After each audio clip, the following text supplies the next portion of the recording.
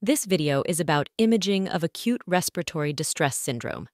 Chest radiograph findings of acute respiratory distress syndrome vary widely depending on the stage of the disease.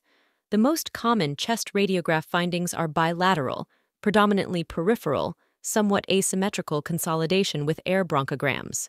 Septal lines and pleural effusions, however, are uncommon. Differential diagnosis considerations include pneumonias, such as those due to aspiration, diffuse alveolar hemorrhage, and pulmonary edema of any cause.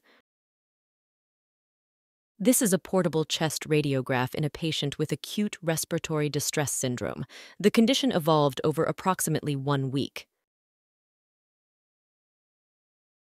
This is a case of acute respiratory distress syndrome secondary to tiger snake bite. There is diffuse, hazy, and coalescent airspace opacification bilaterally, with a predominance in the lower and mid zones. The diffuse and often nonspecific consolidation that is depicted on chest radiographs in patients with ARDS is, in fact, heterogeneous on CT scans.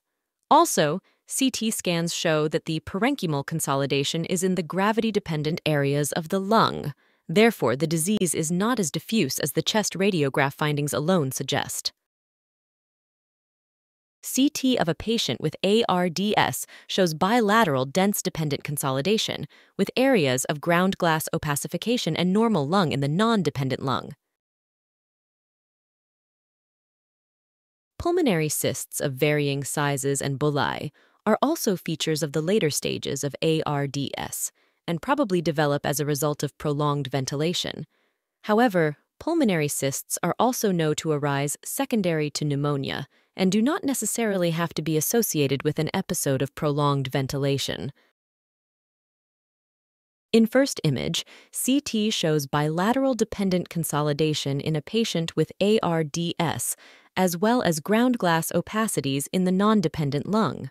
In second image, follow-up CT after one year shows resolution of the consolidation and ground glass opacification with cyst formation in the anterior left lung.